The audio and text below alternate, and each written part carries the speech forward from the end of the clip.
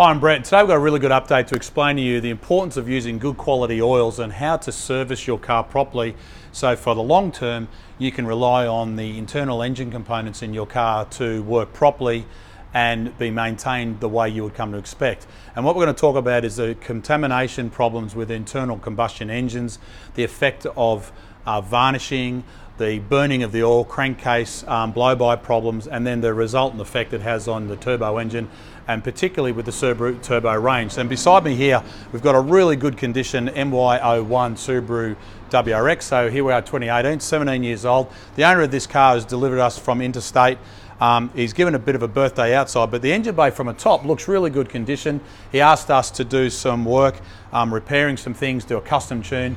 We did a little bit more investigation and found a few scary surprises. And to his surprise, um, his local service place hasn't been using good quality oils, hasn't been using Subaru upper cylinder cleaner, the fuel additive, and the bottom line is the internal part of his engine is to the point where we're genuinely concerned about the reliability of the conditions, considering we're going to be putting one of our XB uh, power kits in it and adding about another 30 to 40 kilowatts to the engine performance.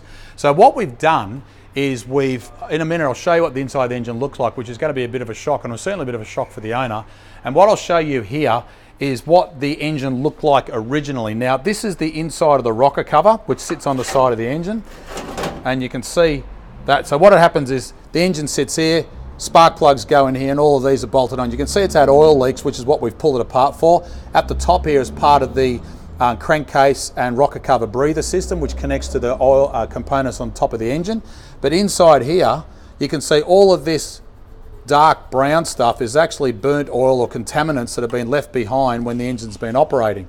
Now, in reality, that's a really good indication of what, unfortunately, the engine looks like inside because the choice, the chosen type of oil being used hasn't had enough detergent in it, hasn't washed it down, it hasn't had regular oil changes, and it's contaminated inside. Now, for reality's sake, we've cleaned this one up that's what it should look like. You can see there's remnants of what's left over. In a perfect world with a nice fresh engine, when it comes out of the factory, it should look all nice and clean when it goes back together. And these parts here are the rubber seals, which have been on there for so long, they stick in place. But when you do rocker cover gaskets on the Subaru, these are just some of the things you replace because the bolt goes down through that and that's what seals it off. So let's have a look at something else that happens as a result of the uh, positive crankcase ventilation. So what you remember when your engine is operating under boost or even on no boost, the combustion pressures, some of it um, creates energy, makes the engine run, forcing the piston down. But what happens over a period of time, you get leakage down past the piston skirt and the ring into the bottom of the crankcase. And all that pressurized air has got to go somewhere, but it's all mixed up with oil flying around the crankshaft and everything. And it goes up through what's called the positive crankcase ventilation system, which is all connected together to then recombust that oily pressurized air back through the inlet manifold. It then gets combusted, goes through the um, engine and effectively out through the exhaust. Now on a Subaru, right up to even the current model STI, the turbo intake pipe looks very, very similar to this. Now, what you've got to remember, the front of the engine, front of the car is here, the airbox is here, this goes under the inlet manifold, and this part here bolts on to the front of the turbo before it's sucked in, gets compressed, goes into the engine. Now, all of these valves and hoses here which have been broken off because they're brittle and these connections here are part of the positive crankcase ventilation system and you get oily air going back through this intake.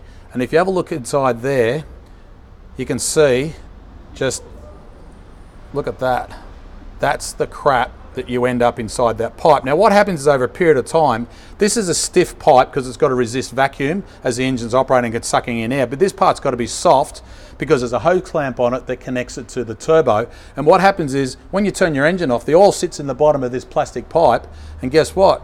It gets a hole in the bottom here, which then you can't see it. The engine's running, it sucks air in that hasn't gone past the airflow meter. The engine runs lean, you damage your engine, you go, why? These are some of the things you need to be aware of. So come over here and I'll get my torch. I'll turn this one on without catching up here. Oh, the torch has gone flat. So this is the side of the rocker covers. You can see the inlet camshaft and the exhaust camshaft. You can see how it's just that horrible goldy browny colour.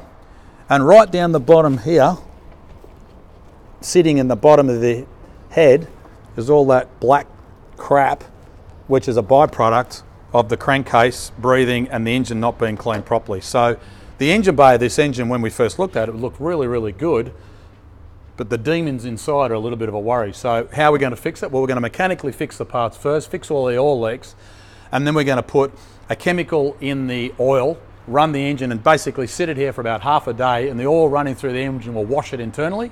We'll use Mobil One oil, it's got a good detergent. We'll then drain the oil. We'll then do a fuel system service to clean the rest of the manifolds and everything else repeat the process again, and in theory, by the time we've finished, all those parts will look not quite as brand new, but certainly a hell of a lot better. We'll then do a compression test and a leak down test to make sure the pistons are now good and sealed back in the bores because all that crap causes the pistons and the uh, rings to stick in the pistons and you lose uh, um, compression, which causes poor performance. You get all that stuff on the backs of the valves, which is then cleaned out as part of the fuel system service using the BG product we use.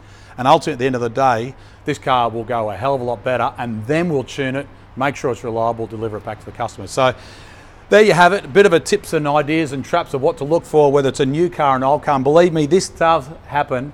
Even normally aspirated cars, brand new cars, over a period of time, all these things add up. It's in your interest to make sure you're aware of it. And of course, when you're looking for more performance upgrades, make sure you go to our website, mrttuned.com.au. The uh, Bug Eye WRX, you can download the Power Kit document, XAXBXC, and get it tuned done no matter where you live in Australia. We've got partners all around um, that we can do work on your car locally. But for in the meantime, when you're looking after your car, if you need some servicing, give us a call. But for today, my name is Brett Middleton. I hope this has helped. Bye for now.